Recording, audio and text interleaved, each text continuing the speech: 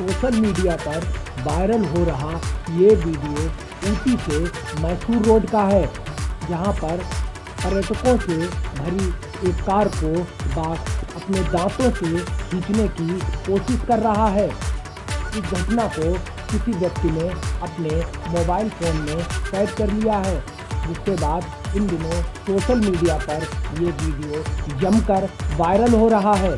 देश के जाने माने महिंद्रा कंपनी के मालिक आनंद महिंद्रा ने इस एस कार का वीडियो अपने ट्विटर अकाउंट पर साझा किया है, जिसके बाद इस वीडियो का लुत्फ लोग जमकर उठा रहे हैं।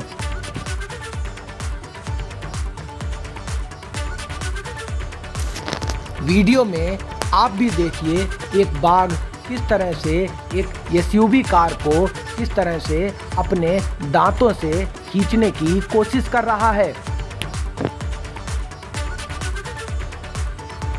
Bureau report UP TV news.